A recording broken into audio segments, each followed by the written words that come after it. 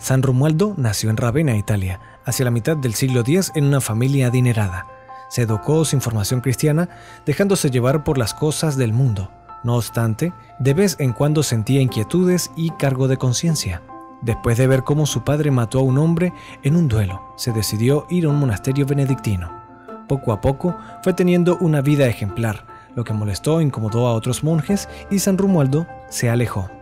Empezó a tratar con un monje rudo y áspero llamado Marino, y de esta manera fue progresando rápidamente su vida de penitencia. Los dos juntos lograron muchas conversaciones como la del jefe civil y militar de Venecia, el Dux de Venecia, quien se fue a vivir en oración y soledad y llegó a ser San Pedro Urseolo.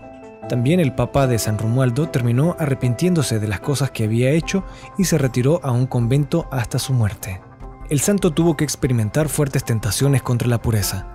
El demonio, además, buscaba desalentarlo, haciéndole ver que la vida de oración, silencio y penitencia eran algo inútil. Incluso en las noches se le presentaba el enemigo con imágenes feas y espantosas. San Romualdo redobló sus prácticas de piedad hasta que un día, en medio de los más terribles ataques diabólicos, exclamó, Jesús misericordioso, ten compasión de mí.